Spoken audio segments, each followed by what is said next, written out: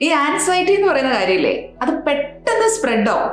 ഈ കോവിഡിന്റെ സമയത്ത് ഒന്ന് ആലോചിച്ച് നോക്കിയേ ഒരു വല്ലാത്ത ഭീതി പരന്നു അല്ലെ? എല്ലാവരുടെ ഇടയിൽ രോഗം വരുമോ ഞാനും കടന്നു പോവോ എനിക്ക് എന്തെങ്കിലും പറ്റുമോ എന്റെ പ്രിയപ്പെട്ടവർക്ക് എന്തെങ്കിലും പറ്റുമോ ആൻസൈറ്റിയാണ് ഒരാളങ്ങോട്ട് തുടങ്ങി പിന്നെ അതങ്ങോട്ട് പെട്ടെന്ന് സ്പ്രെഡായി ഈ ആൻസൈറ്റി സ്പ്രെഡ് ആക്കുന്നത് പോലെ തന്നെ നമുക്ക് ശരിക്കും കോൺഫിഡൻസും സ്പ്രെഡ് ആക്കാൻ സാധിക്കും. എല്ലാവരും അങ്ങ് തളർന്നിരിക്കുമ്പോൾ ഒരാളെ എഴുന്നേറ്റ് വളരെ കോൺഫിഡൻസോട് കൂടി സംസാരിച്ചു കഴിഞ്ഞാൽ അതിൽ നിന്ന് കിട്ടുന്ന ഊർജവും മറ്റേതുപോലെ തന്നെ പടർന്നു പിടിച്ചു?